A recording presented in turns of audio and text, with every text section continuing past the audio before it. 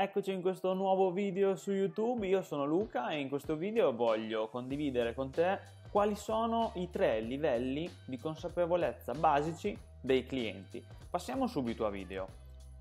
Partiamo sempre dal presupposto che l'obiettivo del marketing è spiegare al cliente perché deve acquistare da te un tuo prodotto o un tuo servizio, piuttosto che da qualsiasi altro concorrente e piuttosto che non fare nulla.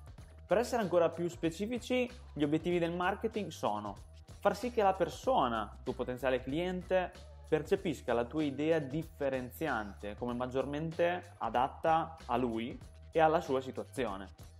Far sì che il cliente creda a ciò che affermi, quindi via libera a testimonianze, elementi di prova, referral e a tutto ciò che può aiutarti ad aumentare il tuo livello di autorità e di, credibilità agli occhi di quello che può essere e diventare un tuo cliente.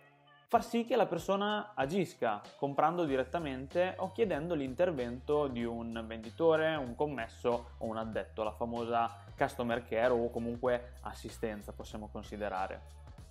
A fronte di questi tre obiettivi principali che abbiamo visto e fondamentali, è chiaro che le persone non sono tutte uguali e non provengono tutte dallo stesso background. Per questo motivo possiamo individuare, l'argomento di questo video, tre livelli di consapevolezza base, basici dei tuoi clienti o potenziali tali. In realtà sono di più e più complessi, ma in questa fase mi interessa che tu sappia riconoscere almeno tre macro categorie. La prima, persone che non ti conoscono, non conoscono la tua azienda e non conoscono il tuo prodotto e servizio. Punto 2. Persone che hanno sentito nominare la tua azienda, il tuo prodotto e il tuo servizio, ma che non hanno comprato, quindi non sono diventate tuoi clienti. Il terzo punto, persone che hanno già comprato qualcosa dalla tua azienda e magari possono testimoniare eh, del beneficio che hanno tratto acquistando il tuo prodotto o il tuo servizio. A questo punto, come devi gestire il marketing in base quindi a questi tre livelli di consapevolezza? Partiamo dalla prima categoria di persone, quindi le persone che non ti conoscono, non conoscono la tua azienda, non conoscono il tuo prodotto, non conoscono il tuo servizio. Ciò che fai con loro risente di ciò che stai già facendo con gli altri. E chiediti, le persone che stanno già comprando da me, perché lo fanno? Perché comprano da me? Se trovi una risposta a questa domanda puoi risolvere il marketing a, risol- a, ritroso, quindi andare a costruire una strategia a ritroso. Non puoi farlo al contrario.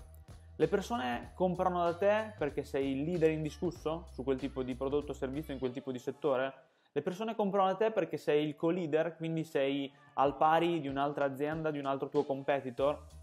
O eh, perché sei sotto le prime due categorie, quindi sei considerato come l'offerta più vantaggiosa, magari anche se non la più premium. Prima devi quindi fare campagne volte a stimolare e educare le persone che hanno già comprato da te. Quindi devi fare marketing educativo per spiegare loro il tuo posizionamento, le tue caratteristiche o i tuoi valori, la tua mission, la tua vision.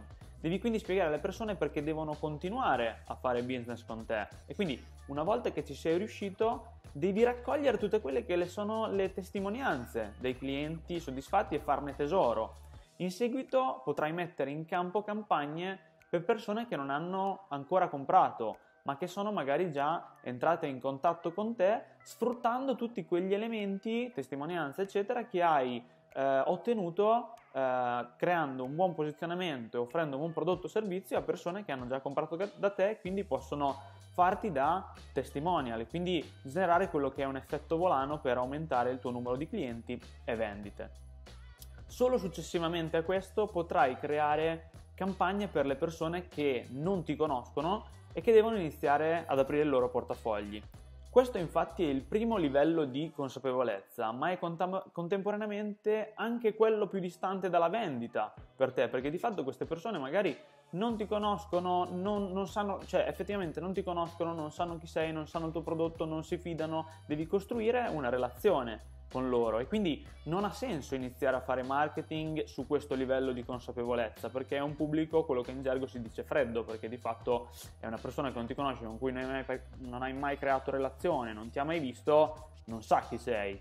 perché di fatto questa è la fetta appunto di potenziali clienti più distante e costosa, proprio perché non ti conosce e deve iniziare ad approcciarsi al tuo business, alla tua attività, al tuo prodotto e servizio per poi passare agli altri step.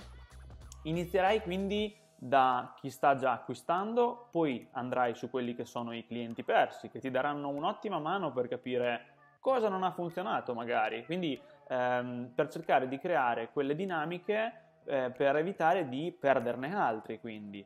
Poi infine andrai su chi ti conosce ma non ha ancora acquistato e via così. Il marketing, come hai visto, come poi ti ho spiegato in queste poche righe, si fa a rovescio, devi partire al contrario. Quindi prima devi sistemare le persone che stanno già comprando da te perché sono la tua base di clienti, quindi sono quelli che fanno la tua forza, quelli da cui puoi trarre spunti, da cui puoi ottenere testimonianze, puoi ottenere appunto spunti per capire come ottimizzare tutto il processo di acquisto e soprattutto evitare di perderle perché hai già acquisito, eh, loro, hanno, loro hanno già fiducia in te e quindi devi cercare di mantenerla perché ti daranno un tanto valore nel tempo, continueranno ad acquistare da te. Quindi devi spiegare loro perché devono preferire te e portarli da mi hai scelto perché ti sembravo l'alternativa economica in mezzo a tanti a in realtà mi hai scelto perché sono il più adatto alla tua situazione specifica o alla problematica che eh, il mio prodotto, il mio servizio può andare a risolvere o promette di risolvere. Per questo video è tutto, Spero che questo contenuto ti sia stato utile, se così, fo- se così, fosse ti invito a lasciarmi un like e iscriverti al canale perché per me sarebbe molto importante, mi darebbe una grossa mano nello sviluppo di questi contenuti e soprattutto a raggiungere con questi contenuti più persone possibili che sono interessate appunto a questi argomenti e iscrivendoti al canale potrai ricevere le notifiche quando uscirà un mio prossimo video. Per questo video è tutto, noi ci vediamo nel prossimo video. Ciao!